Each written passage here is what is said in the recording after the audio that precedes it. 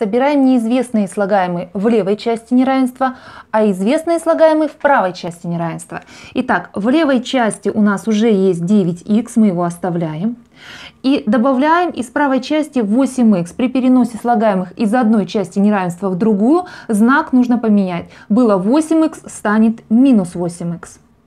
Меньше. В правой части нам нужно собрать с вами числа. Оставляем тройку и добавляем из левой части семерку. Добавляем, знак меняем.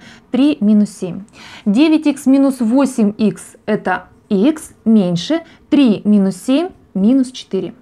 Рисуем координатную прямую, отмечаем минус 4 согласно знаку неравенства строгая точка пустая, минус 4, и те числа, которые меньше минус 4, находятся левее.